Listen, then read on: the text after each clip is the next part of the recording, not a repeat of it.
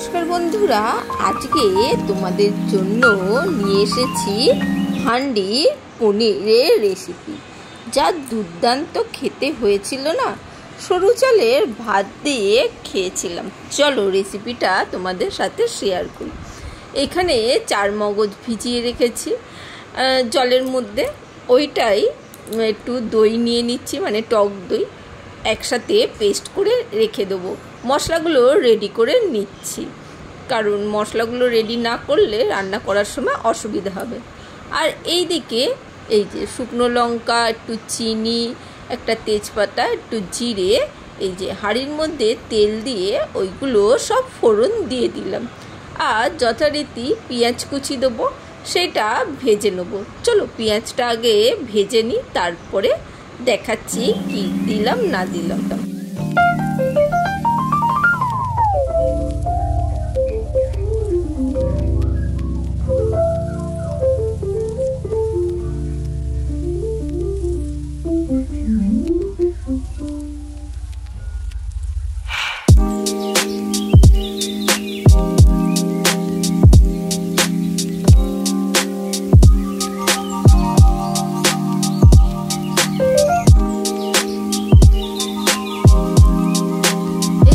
চাপা দিয়ে দিয়ে ভেজে নিলাম, তারপরে একটু লবণ দিয়ে দিলাম। আর অবশ্যই গ্যাসটা কিন্তু লো ফ্লেমে রেখে দেবে। এই হাঁড়িতে কিন্তু রান্নাগুলো স্বাদ কিন্তু মানে দুর্দান্ত হয়। মানে না করলে তোমরা বুঝতে পারবে না। আর চাপা দিয়ে দিয়েই করছি। আমি আর এটাকে মানে দমে রান্না করে, করিনি। মানে সবাই যেরকম দমে করেছে, সেটা আমি করিনি। শুধু হাঁড়ির মধ্যেই করেছি, আর তাতেই যা খেতে হয়েছে, সেটা ট্রাই করলেই তোমরা বলতে, বুঝতে পারবে। চলো, এই দিকে আদা, রসুন আর কাঁচা লঙ্কা একসাথে পেস্ট দিয়ে না, যথারীতি মশলাটা কষে নিচ্ছি। আর গ্যাস কিন্তু একদম লো ফ্লেমে রেখেই হবে, তাতেই কিন্তু রান্না হবে এইদিকে হলুদ গুঁড়ো, কাশ্মীরি লঙ্কার গুঁড়ো আর জিরের গুঁড়ো দিয়ে কষে নেব।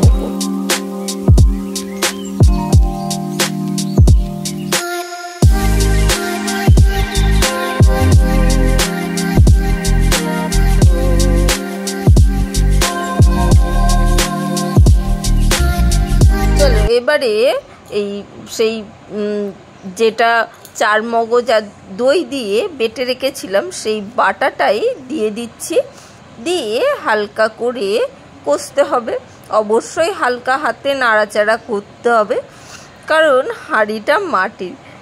বেশি জোরে নাড়াচাড়া করলে বা এ করলে ফেটে যাওয়ার বা ভেঙে যাওয়ার সম্ভাবনা থাকতে পারে, সেই জন্য হালকা হাতে একটু ধৈর্য ধরে করতে হবে। কিন্তু একদম লো ফ্লেমেই হাঁড়ি কিন্তু খুব তাড়াতাড়ি মানে মাটির হাঁড়ি খুব তাড়াতাড়ি গরম হয়ে যায়। চলো মশলাগুলো বেশ কষা হয়ে গেছে, একটু জল দিয়ে নিলাম। এইদিকে পনিরগুলো পিস করে নেব। পনিরগুলো পিস করার পর এর মধ্যে অ্যাড করব।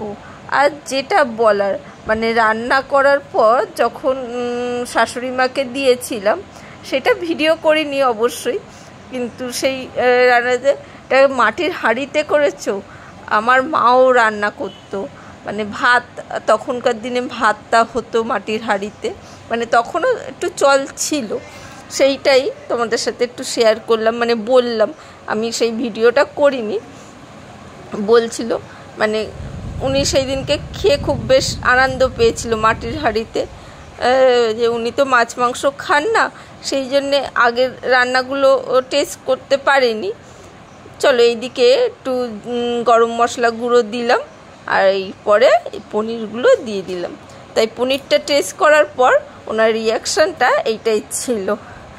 চলো পনিরগুলো এবার এর মধ্যে সব কেটে টুকরো করার পর ভালোভাবে ছড়িয়ে দেবো। তারপরে চাপা দিয়ে দেবো। চলো চাপা দিয়ে তারপরে আসছি।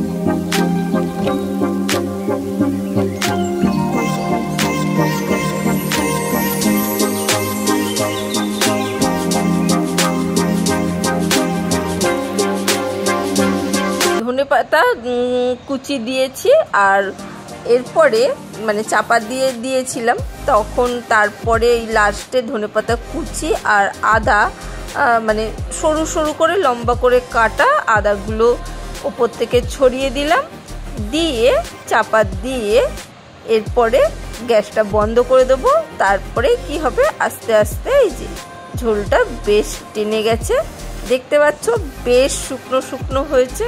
আর খেতে টেস্টে দারুণ হয়েছিল। তাহলে হান্ডি পনির তোমাদের কেমন লাগল তোমরা অবশ্যই কমেন্ট করে জানিও। আর ভালো লাগলে অবশ্যই চ্যানেলটাকে সাবস্ক্রাইব করো। এই রকম নিত্য নতুন রেসিপি দেখার জন্য। আজকের জন্য টাটা বাই বাই আবার দেখা হবে পরের দিন অন্য কোনো রেসিপিতে বা ভিডিওতে আজকের জন্য বাই